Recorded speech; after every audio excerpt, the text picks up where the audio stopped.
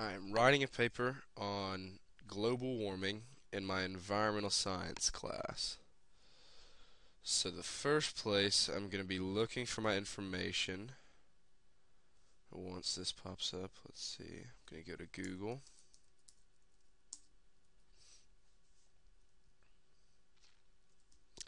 And the first thing I'm going to go to is, I'm just going to search global warming and see what we get.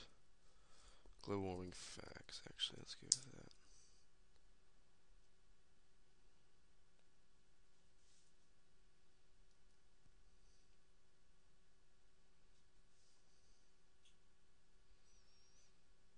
Page is loading, but let's see what we get here. So we have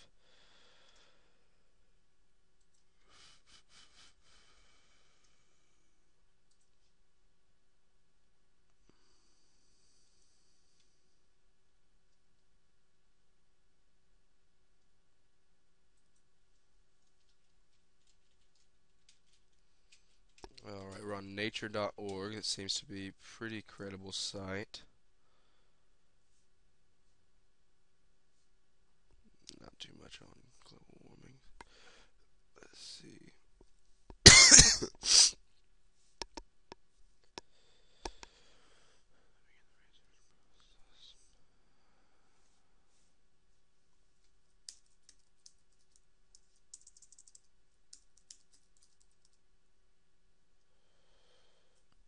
So I would normally begin the research process by taking notes, getting go ahead and seeing what my topic is completely about because uh, so I want to have a good idea of uh, what I'm actually researching.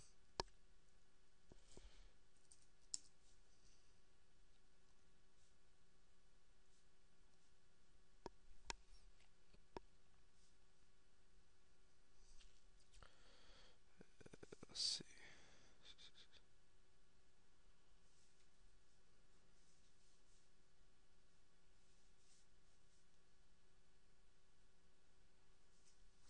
This site's got cookies on it. Is that? I, okay, I didn't know if it was popping. It's not popping up, so I'm not sure if it's. This.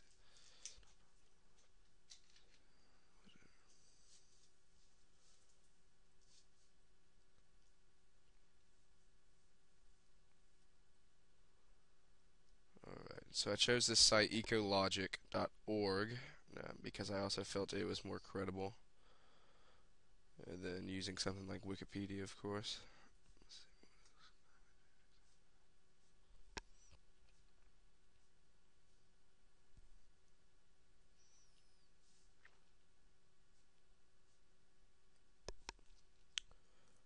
I would save this course because it's got some good information on global warming, something that I would like to use in the paper. Factual information.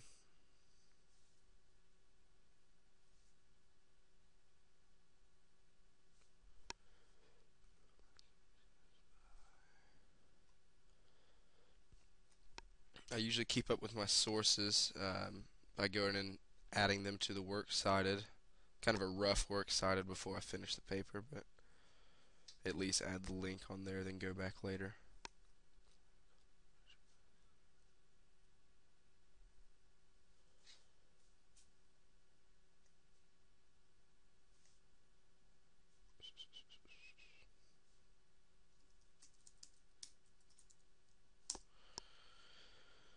Let's go back.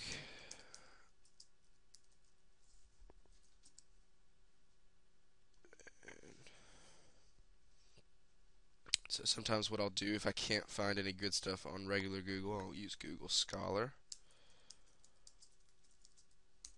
Let's go back and go ahead and look up global warming on Google Scholar. And here we have a link that says fingerprints of global warming on wild animals and plants. So go ahead and click on that, see where it brings us. The site is on nature.com. Let's see what we got here.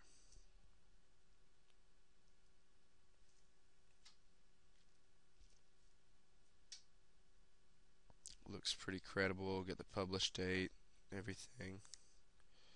Publisher, whatnot. Let's see. Fingerprints.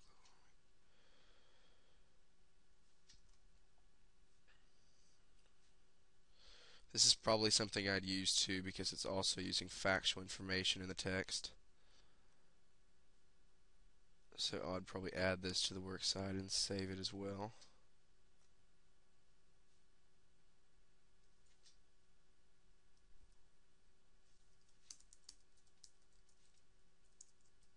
Let's go back to Google Scholar.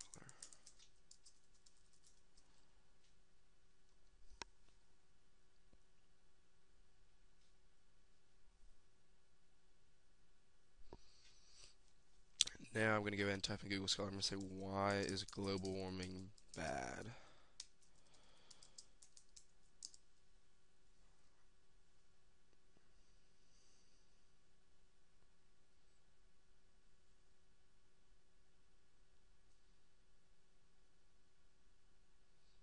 Oh, Alright, here's something looks good. It says, so this link says, will changes in soil organic carbon act as a positive or negative feedback on global warming? I actually, so no, I probably won't use that. That's public perceptions of global warming. That could be good. That looks like something I would want to use. Public perceptions of global warming.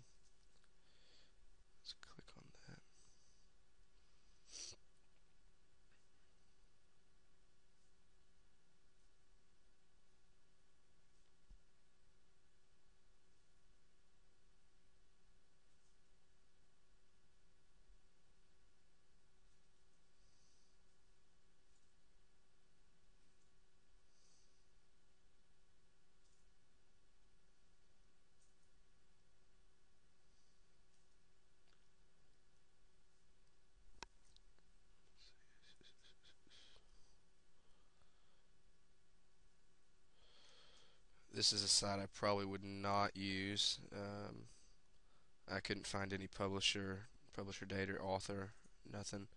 Um, nothing of it looked very credible. Nothing reliable.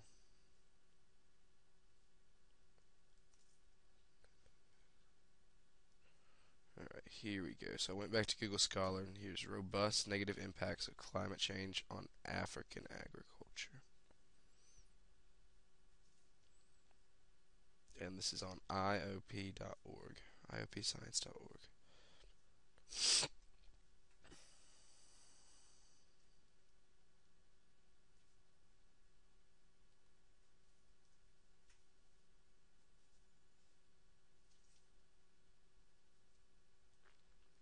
Once again, this is all factual information.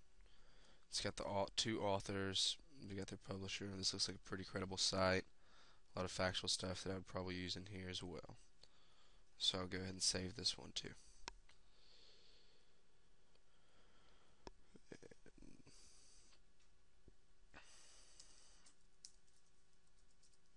And so to start, I usually probably start off with uh, three or four sources, so we'll go ahead and try and find one more.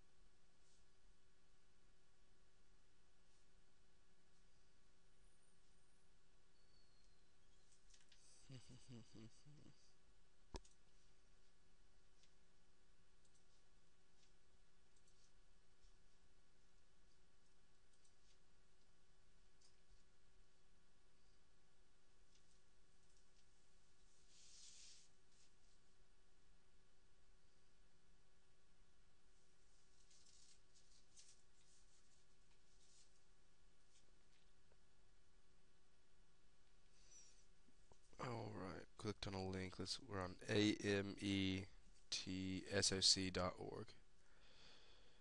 And I've got a lot of authors on here. Uh, under it's got their credentials, so it looks pretty credible. Um, let's see what we got here. So, any information? Okay.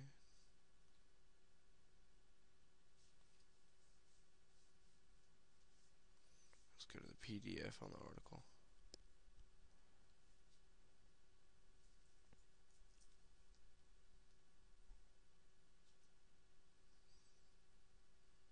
Alright, asymmetric trends of daily maximum and minimum temperature. New perspective on recent global warming.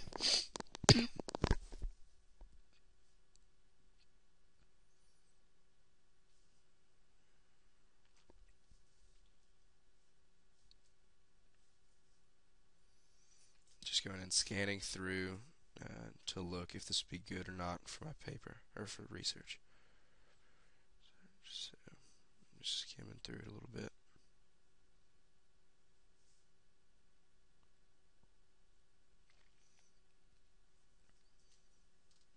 I like here how it's got all this information once get all factual uh, graphs and evidence. So this looks like a source I would use as well.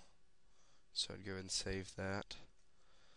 And then once I get those four sources, I'll dig deeper into those four sources and get my information from there. Um, so that's uh, as far as you want me to go today, or is that okay?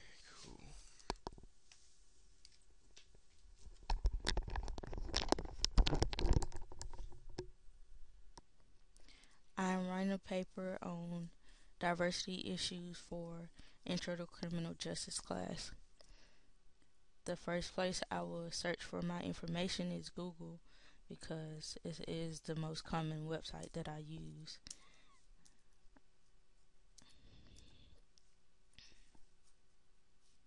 I began the research process by typing in genetic diversity because those are the main the keywords in the paper that I'm writing.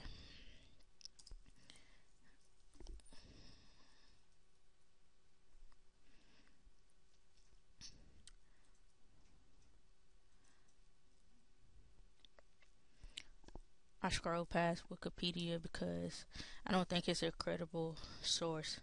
Anybody can put anything on Wikipedia. I normally try to look for the web pages that end in org or .edu or .gov. They seem more accurate to me.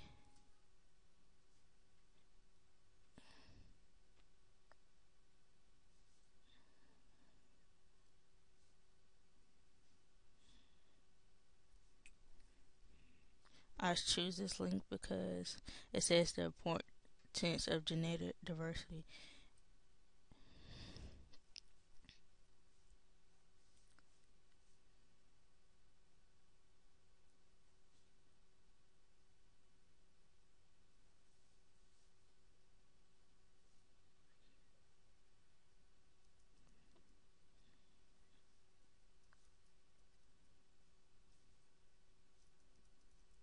And I'm leaving this site because this has to do with biology. So this is not what I need.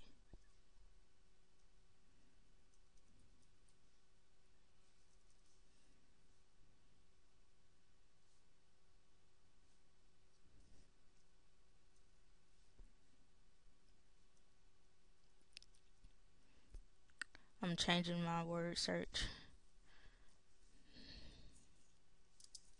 Genetic diversity and how it relates to criminal justice.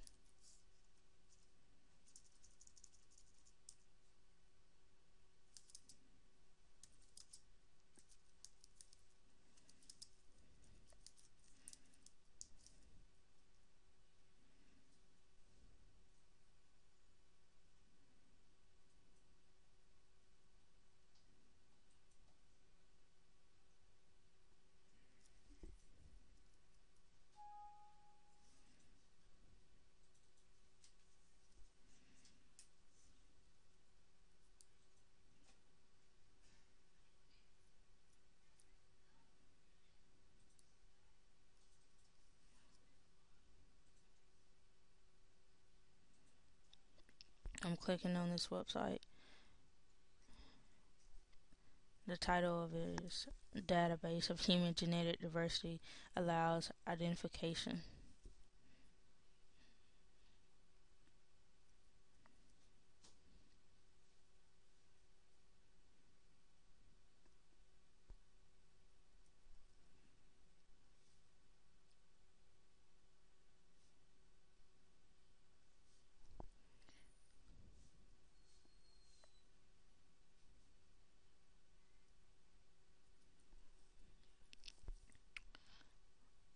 I'm changing my search terms because again this doesn't relate. I'm going to try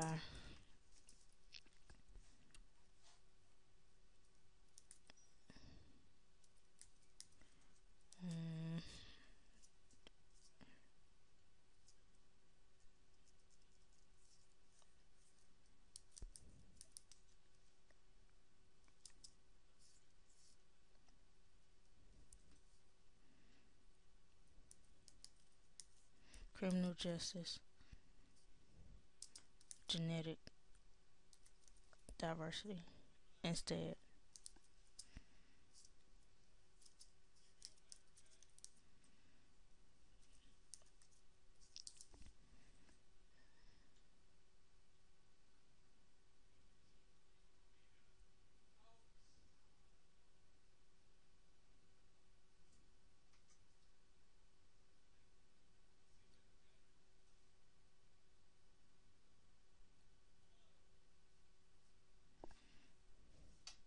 I choose this link because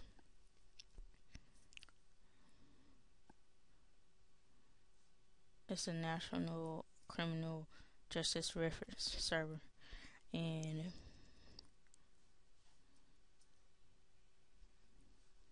it provides a book that I can go get. Meaning that's probably nothing helpful on the website, so they give me a different choice source that may be helpful. So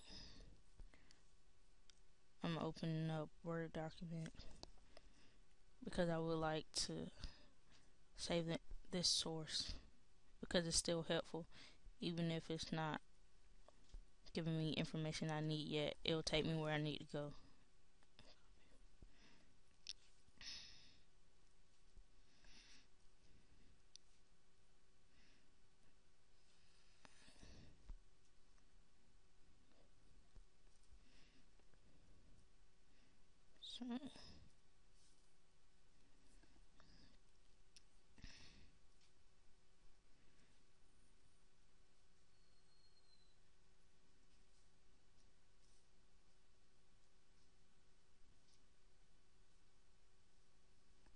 okay I'm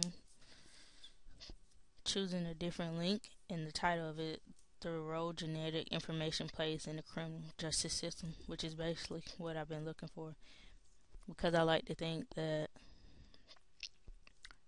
it plays an important role because that's how like you stereotype and like different races or stereotype from their background and who's more likely to commit crime. I'm just scrolling through here. I'm not going to read this yet because generally I like to get like three to four good sources before I start actually reading.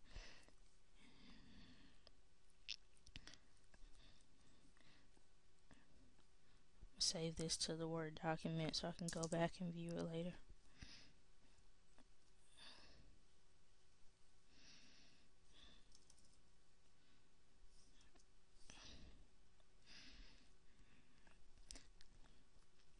The next place I'm going to look for information going back to Google.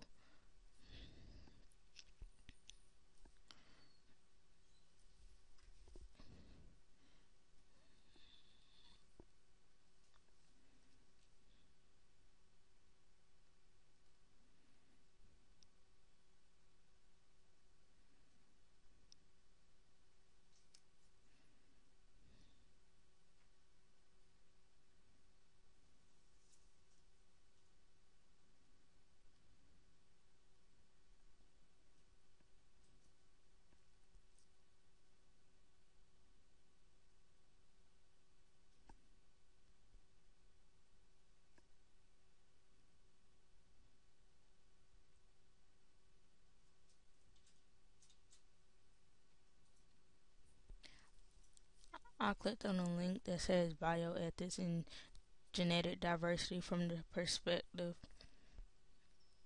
of UNESCO and non-governmental organizations. Not really sure what the acronym is for, but I'm skimming through here and it looked like it might tie into criminal justice and genetic diversity, how it plays an important role. So I'm going to use it as a source too. If it doesn't work, just come back. Go in a Word document. Save my link.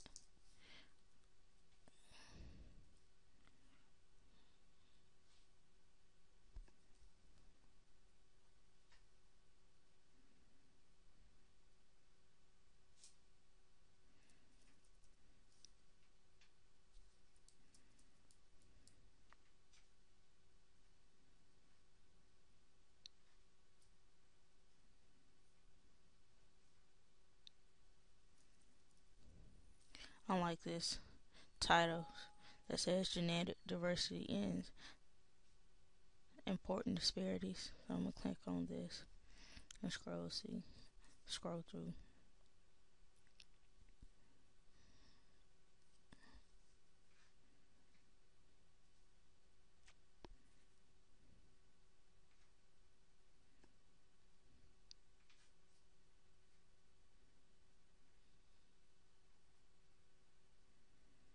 Says genetic diversity sometimes can interact with social processes. I like this. And I think it would tie in nicely. So I'm going to use it. Save another link to my Word document.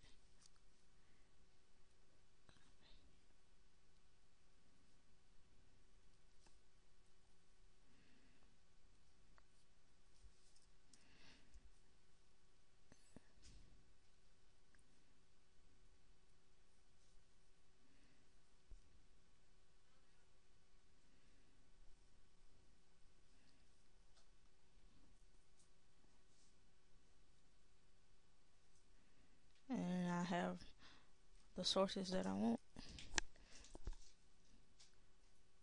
So, and that's it.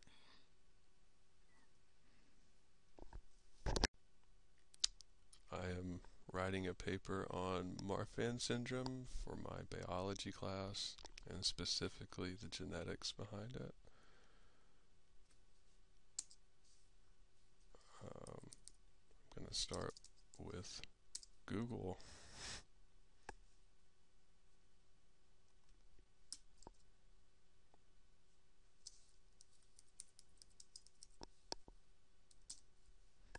And the first website I'm going to use is marfan.org because it is the official website for the disorder and has the most up to date and reliable information.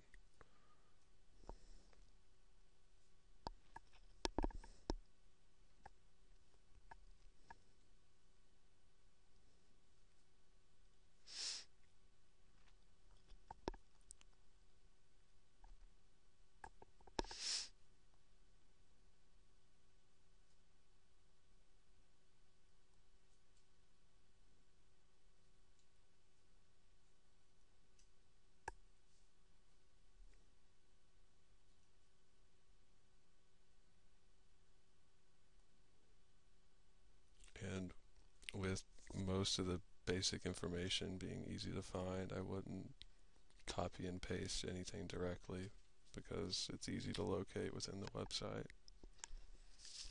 Um, and I would begin my research process by just reading through everything that's available because it's easy to access.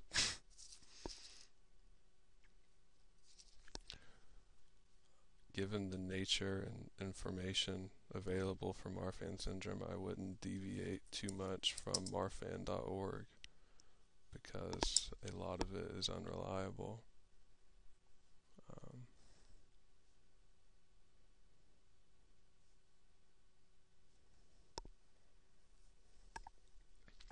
I would use this website because it is .gov it has somewhat more authority than Wikipedia and it gives basic overviews and details into the genetics. Um, I think for a general paper, you wouldn't need more than these two to write about Marfan syndrome. If I were to use Wikipedia, I would use the sources Wikipedia cited.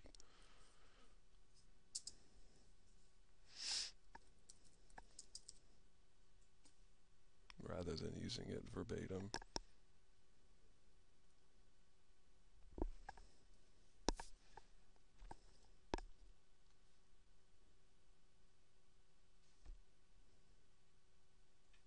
So all of these reference sources could be used.